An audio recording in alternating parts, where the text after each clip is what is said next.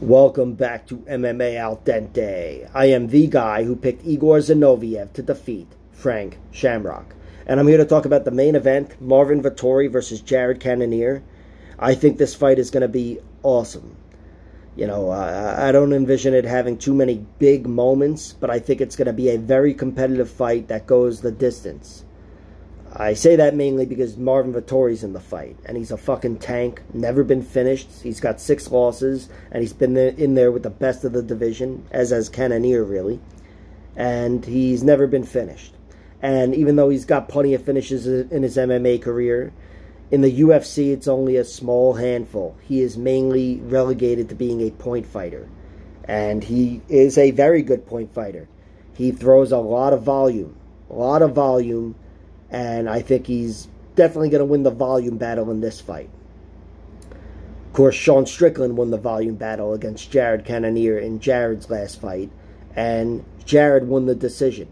And he won the decision because his age is not an issue. He's 39 years old. You know, that should be something, but I can't say it's anything because he just went five rounds with the best point fighter in the division, or maybe one of them, Sean Strickland, and he was very much in the realm of winning that decision because he was throwing hard strikes down low and up high for five rounds. Uh, I I thought Sean Strickland won the decision, but still, I couldn't argue with that with the fact that Jared got the nod. He looked very good. I didn't. I expected him to fade down the stretch, and he didn't. And that bodes well for his fight here against Vettori, because Vettori's a very similar uh, fighter to Strickland. Not exactly identical, though. The thing I expect to give Vettori an advantage here is overall physicality, but for that to really show itself on the ground. I don't think Vettori's going to score too many takedowns, but I do envision him scoring takedowns. And when he gets Cannonier down, I envision a little bit of control from Marvin Vettori. You know, he's uh, definitely the better jiu-jitsu guy, and I think he's just um, he's got that. He's the overall better grappler than Jared Cannonier, and I expect him to dominate Cannonier on the ground. Not go right through him, but hold him down and try to pass his guard and, in general, control him. I don't think he's going to finish Jared. Jared's never been submitted, and Jared's no, you know, uh, slouch on the ground at all.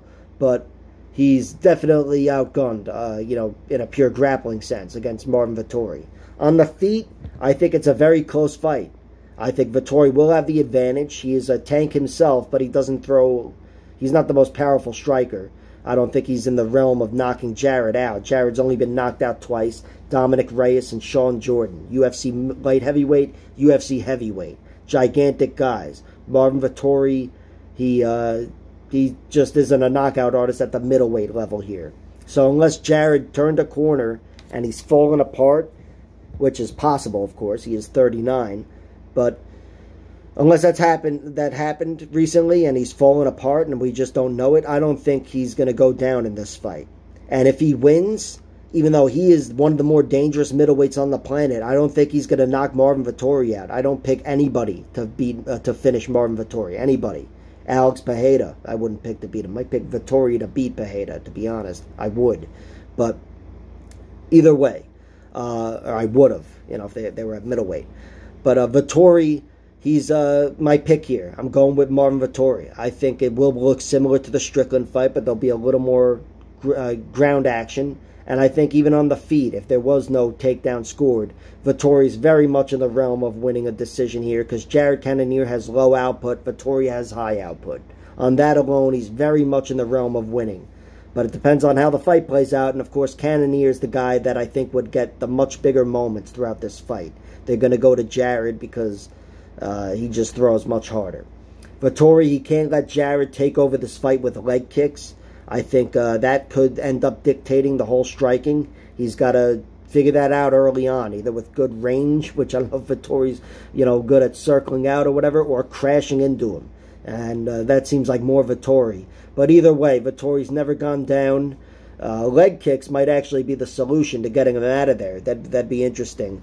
But I'm not picking that. I'm picking Vettori to win a decision here. Like, share, subscribe. Oh, yeah, the bets. You can get uh, Vettori by decision at plus 150. I do think that's definitely his primary path to victory, but I just played his money line at minus 115. Like, share, subscribe, all that horseshit. Check out my other videos.